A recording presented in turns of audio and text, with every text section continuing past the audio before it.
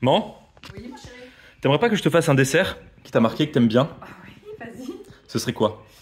Euh, des navettes. Ça ressemble à quoi?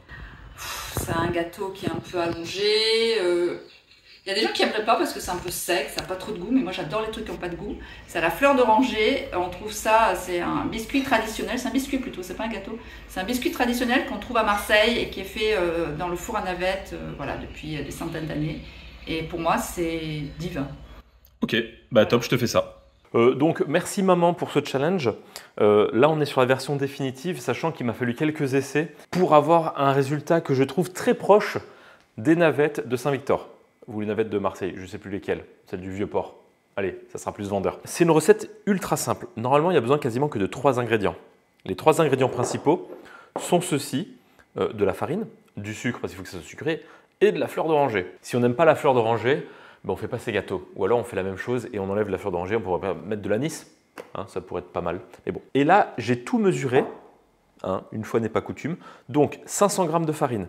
Et j'avais vu qu'avec de la maïzena, ça aidait.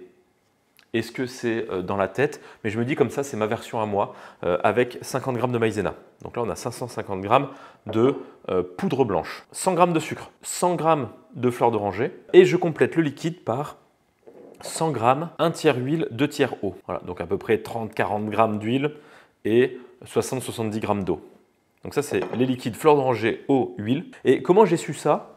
Un peu par essai-erreur où j'ai fait des essais, mais aussi euh, en regardant sur le site des navettes du four à navettes de Marseille, euh, les ingrédients, c'était, euh, bah, il n'y avait pas d'œufs et c'était des matières grasses. Il y avait quand même beaucoup d'ingrédients, donc là, c'est la version, je pense, plus simple. Quasiment le, le plus dur effet, c'était de sortir les ingrédients. Ne vous y habituez pas, je ne fais pas ça tout le temps, loin de là. Les liquides qui ne sont pas l'huile, donc eau et fleur d'oranger, et on va dissoudre le sucre dedans. Et je vais le faire à la fourchette pour qu'il y ait le bruit du saladier qui soit insupportable, comme ça là. Suis quasiment sûr qu'on pourrait faire la même chose avec de l'eau de rose, mais l'eau de rose dans un biscuit, ça peut vite faire sans bon pour toilette. Vous savez, j'ai dû faire 8 fournées pour arriver à quelque chose qui soit à peu près bon. Mais à chaque fois, la première fois, je devais être à 60% de proximité, 60-70%. Et chaque itération, je gagnais 4-5%. À vue de nez. Hein. De l'huile. Euh, là, c'est de l'huile neutre, genre tournesol. J'ai essayé avec de l'huile d'olive, parce que je me suis dit, tiens, l'huile d'olive, c'est cool. Ça fait, plus, euh, ça fait plus Marseille, ce serait plus dans le thème sud. Sauf que l'huile d'olive a un goût que je trouve euh, remplace un petit peu la fleur d'oranger. Et c'est pas forcément ce qu'on veut. Allez, je vais mettre le sel maintenant. Les farines. Mais dis donc, Jamie, pourquoi tu fais la fourchette? Encore une fois, on veut pas quelque chose de panifié. Et donc là, cette recette, il n'y a pas de repos, euh, il n'y a pas de levure, il n'y a pas de pétrissage particulier, il n'y a pas d'ingrédients compliqués. J'aurais pu faire mes recherches pour savoir d'où venait la navette et tout. C'est peut-être une histoire de euh, truc de crise où fallait finir certains ingrédients ou euh, tester la température du four ou je sais pas. Hop. Juste, j'amalgame un peu tout. Ça se décolle du saladier, le saladier est propre, je sais pas, il pourra même pas le lécher. Et voilà. Est-ce qu'on va laisser reposer avant de façonner? Non, on va façonner tout de suite. Ah oui, et ce que j'avais oublié de dire, la farine c'est de la T55. Je sais pas si je l'avais dit ou pas. Et donc là, on en prend un petit peu, on la roule, et euh, souvent il y a les bords qui sont un petit peu comme ça. Donc moi, j'arrondis avec six doigts et j'appuie avec les deux auriculaires pour avoir quelque chose d'à peu près comme ça. Souvent, on les retrouve avec les bouts un petit peu euh, concaves ou convexe. Si vous êtes fan du pain azim et euh, des flancs libanais, on est un petit peu entre les deux. Pendant ce temps, je vais préchauffer le four. La navette, pourquoi navette cette forme-là? C'est une forme de barque. Ouais, c'est pas du tout une forme genre de l'origine du monde, quoi. Voilà, chacun son interprétation. Enfin bon, là en termes de forme, avant découpe, euh, on est sur l'origine du monde, mais de l'autre côté, quoi. Et donc là, j'ai hâte de faire goûter cette version à maman parce qu'elle a goûté un peu toutes les versions. C'est vrai que ça aurait été peut-être vidéogénique de montrer les différents ratés. Enfin, ratés. Euh, clairement, ils ont été mangés. hein.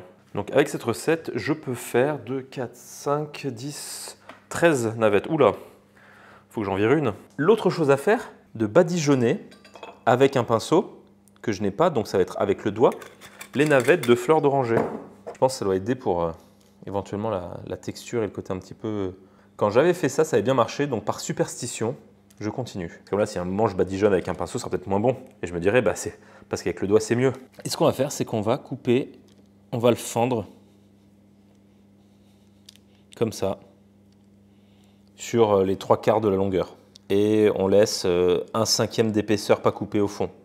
Et j'écarte un petit peu la barque, Hum, on va dire barque, Euh, mais à la cuisson ça va s'ouvrir. Autre fun fact pour la difficulté de cette recette en Calédonie, euh, il m'a fallu faire trois magasins bio pour trouver de la farine T55 parce qu'il y avait un problème d'arrivage avec le bateau.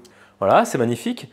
Quand le four est à 180 degrés, il n'y est pas encore, ben, on va le faire cuire, sachant, et là je vous laisse noter, 15 minutes à 180, 15 minutes à 140, et normalement c'est bon. Moi je les aime quand elles sont blanches, sinon on les passe au grill encore 5 minutes pour qu'elles deviennent euh, orangées, mais sinon c'est 15 minutes à 180, 15 minutes à 140. Donc ça va cuire pendant une demi-heure. Et bien il n'y a plus qu'à mettre au four.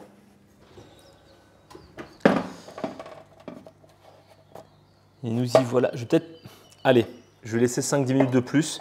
Donc voici le maximum de couleurs que j'aime pour les navettes, c'est-à-dire en dessous légèrement marron, mais euh, globalement blanc à l'intérieur.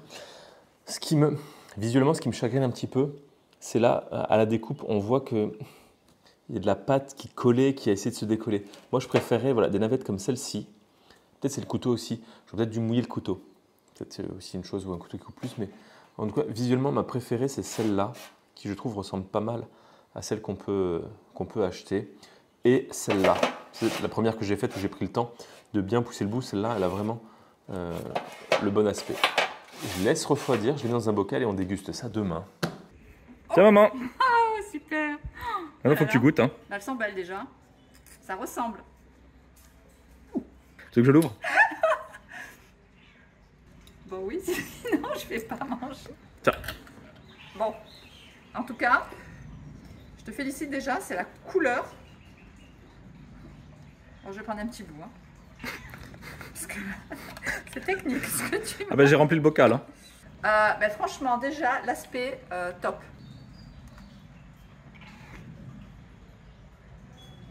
On n'est pas loin. Délicieux. J'aurais jamais pu manger des navettes en Calédonie. Autre que celle que Mimi nous rapportait. Oui, évidemment. Mm. Aussi bonne. Ah non, vraiment. hein. Bravo. Bravo, mon chéri. Merci. Et euh, vous pouvez être sûr que cette personne est complètement objective. Hein. Ah, mais je suis toujours objective avec mes fils. hein. Ça, c'est une de mes qualités. Il m'en reste déjà plus beaucoup. Euh, donc voilà, on est, on quand même pas très très loin. C'est croustillant, un petit peu. Il y a presque ces petites couches comme on peut avoir sur les vraies euh, navettes du four à navettes. La principale différence, je pense, c'est un petit peu la, le toucher. Là, on est plus sur du lisse. L'autre, c'est un peu plus poudreux. Je ne sais pas d'où ça vient. Mais toujours est-il que... Bon, je remets ça là. Euh, sur une recette à trois ingrédients, s'il y en a un, par exemple, si on n'a pas la même farine, pas la même fleur d'oranger, ben, on n'aura pas exactement le même rendu. En faisant les essais qu'on veut, je pense que ce sera assez compliqué. Mais on est sur un biscuit qui est euh, difficilement tellement plus simple. Ça, je mange bien, c'est bon, ça se conserve hyper longtemps. La farine et du sucre, ça va. Euh, et il y a ce petit côté euh, de Provence qui est assez sympa. Merci à maman de s'être prêtée au jeu. Et moi, je vous dis à très bientôt. Peut-être plus tôt qu'on ne le pense. Allez. Hein?